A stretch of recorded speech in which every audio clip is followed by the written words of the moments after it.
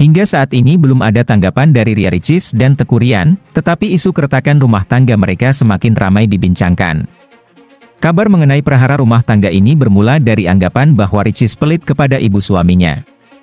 Anggapan tersebut berkembang hingga sampai pada isu keduanya akan cerai. Awalnya Ria Ricis membagikan postingan tentang penyebab hancurnya rumah tangga. Menurutnya, ada 11 penyebab berakhirnya rumah tangga. Dari seluruh paparannya, Ricis terlihat menekankan tentang mertua yang mencampuri rumah tangganya.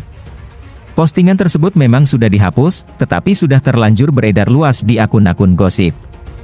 Berkaca pada postingan tersebut, warganet ada yang menganggap pelit sehingga tak harmonis dengan mertuanya. Hubungan ini diakini akan berujung pada perceraian apabila tak menemukan solusi. Namun, bak menepis isu miring tersebut, Rian dan Ricis kepergok lakukan ini malam-malam. Rian masih membuktikan bahwa rumah tangganya dengan Ria Ricis baik-baik saja. Dikutip dari akun Instagram Tekurian pada Kamis, 6 April 23, Tekurian tampak mengunggah video kebersamaannya dengan Ria Ricis. Dalam video tersebut, Ria Ricis tampak tengah melayani suaminya. Ria Ricis menyuapi Tekurian buah hingga menemani suaminya makan di kamar.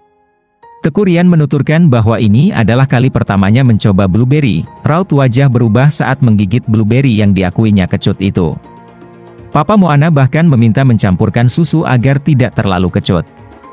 Belum icip strawberry, eh salah blueberry dan ini perdana aku, ekspresinya berubah karena kecut. Gak pakai susu yayang, ujar Tekurian. Mendengar curahan hati Tekurian, Ria Ricis tegas mengungkapkan bahwa blueberry memang anak dimakan tanpa campuran susu.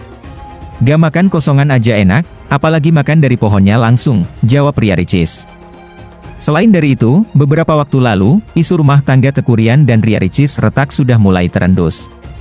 Tekurian yang selama ini dikenal alim, mendadak namanya tercoreng karena video pelukannya dengan beberapa wanita hingga bikin Ria Ricis pilu. Bahkan pada saat itu, sebuah akun TikTok Semut 002 membongkar nasib Ria Ricis dan Tekurian di tahun 2022. Disebutkan oleh akun tersebut, kehidupan Ria Ricis akan diterpa banyak masalah. Masalah tersebut akan menimbulkan banyak hujatan dari netizen. Tahun 2022 yang baru saja dimulai ini akan terasa berat bagi pasangan Ria Ricis dan Tekurian. Meski dihujat, namun rezeki yang diterima oleh Ria Ricis dan Tekurian malah melimpah. Bukan cuma itu saja, akan ada hadiah terbaik dari Tuhan buat Ria Ricis.